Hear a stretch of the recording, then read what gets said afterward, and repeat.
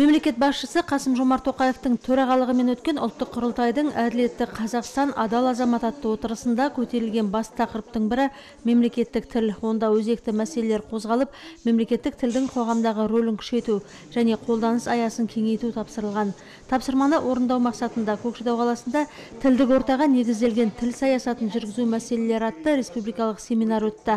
Оған еліміздің түкпір түкпірінен ғалымдар қазақ тілін жетік меңгерген этнос өкілдері мен тіл мәселесіне жауапты басқарма басшылары қатысты.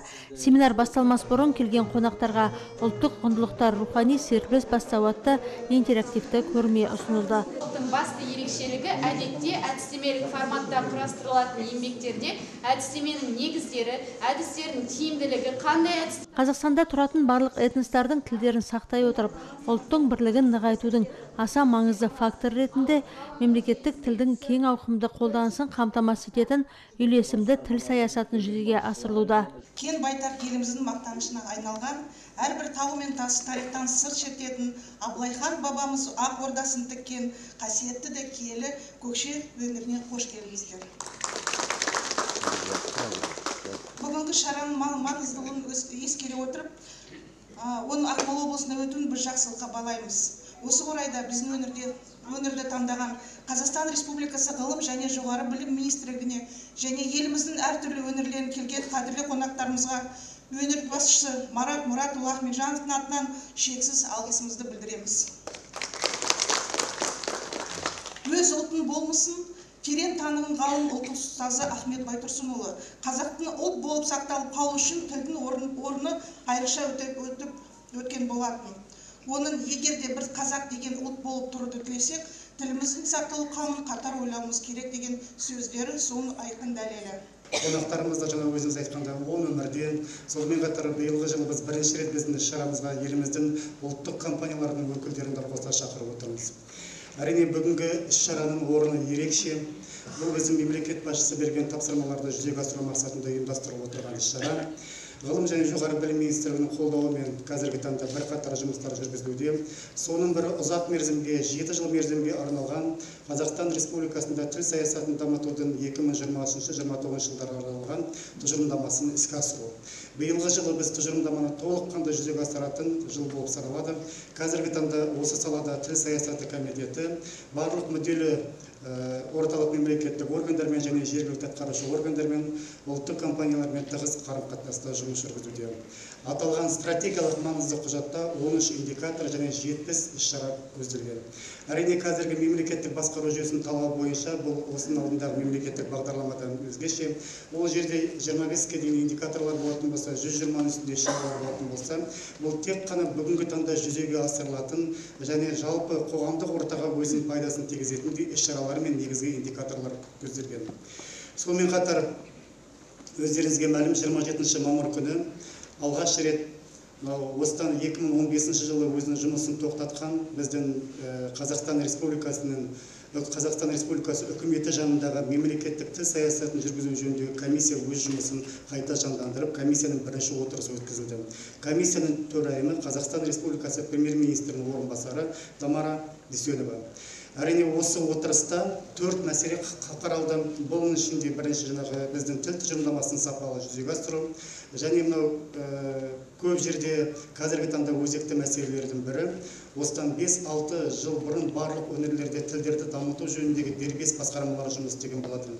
Қазіргі таңда үш қана өңірде дербес басқарма сақталып қалғанының бәрі мәдениет басқармаларына ішкі саясат басқармасына қоғамдық даму басқармаларына архив істер басқармасына қосылып қазіргі таңда өңірлерде тіл саясаты саласында пәрменді жұмыстардың жүргізілмеуіне алып келіп отыр. Бүгінде түрлі сала мамандарын мемлекеттік тілді жетік меңгеруіне ықпал ететін өздігінен оқып үйренуге арналған IT өнімдер қатысушылардың назарына ұсынылды. Біз жаңа ақмола облысының барлық тілдерді оқыту орталықтарының әдістемелік өнімдерімен таныстырдық көрмеде. Ақмола облысында жалпы 20-дан астам тіл орталықтары бар. Біздің негізгі жұмысымыз мемлекеттік қызметшілерді азаматтық қызметшілерге қазақ тілін үйретеміз. Жасанды интеллект арқылы немесе жаңағы онлайн сервистер арқылы дайындаған барлық әдіс тәсілдермен таныстырдық. Оның ішінде джойтека wordwall сияқты бағдарламаларды кеңінен қолданамыз. Сабақта соның барлығын көрсеттік. Қазақ тіліндегі дыбыстық хабарламаны танып қана қоймай мәтінге айналдыратын телебот. Ойлап тапқан профессор өркен мамырбаев жасанды интеллект жүйесін одан әрі дамытуда. Аталған жүйе бірнеше тілде бір мезетте аудио жазбаны мәтінге түсіруден бөлек аймақтық диалектіге байланысты сөйлеушінің қай өңірден екені туралы ақпарат бере алатын қосымшасы да бар.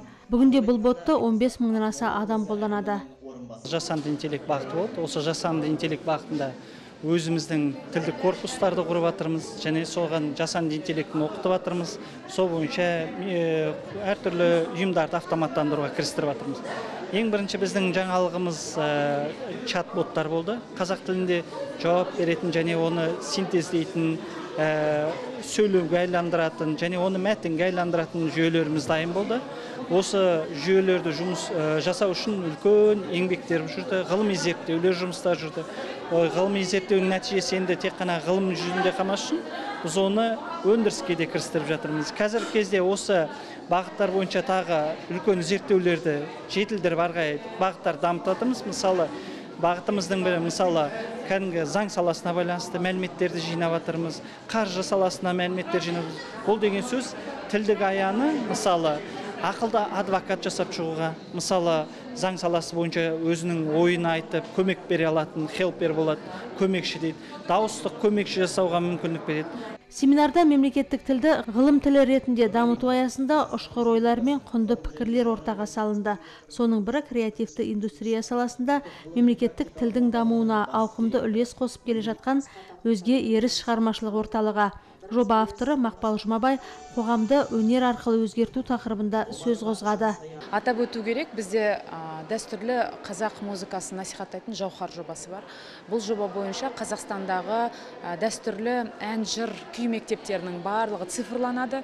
Дәл қазіргі кезде маңғыстау өңірінің жыршыларынан құралған 10 альбом жарық көрген. Жалпы бұл жердегі біздің мақсатымыз қазіргі заманғы сапалы түсірілім элементтері бар ғой. Дыбыс аудио видеоны пайдалана отырып жастардың дәстүрлі ұлттық өнерге деген қызығушылығын арттыру.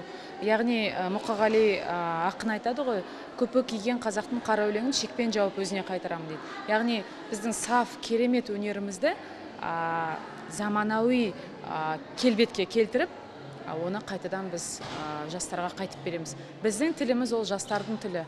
Бізді жастар көреді. Сондықтан да біздің тәжірибемізді қолдана отырып дәстүрлі қазақ мәдениетін дамыту бір оңтайлы жол деп санаймыз. Бүгінде бұл орталық еліміздің астана алматы және түркістан қалаларында офлайн түрде жұмыс істейді.